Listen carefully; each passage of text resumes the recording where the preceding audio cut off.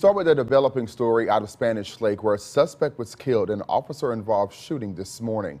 St. Louis County Police say it started when a 67-year-old man and his grandson were carjacked in a McDonald's parking lot on Bellefontaine Road. Tracy Panus with the St. Louis County Police Department tells us a short time later the suspect returned. He carjacks them with a weapon.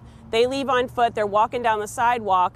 The black truck that is the gentleman's truck makes a U-turn, comes back and hits the old man, and then he wrecks in the front yard of this of one of these two residences behind us.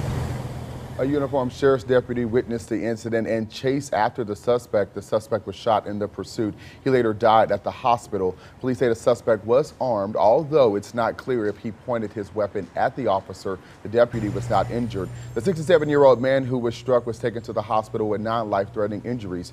The boy was not hurt.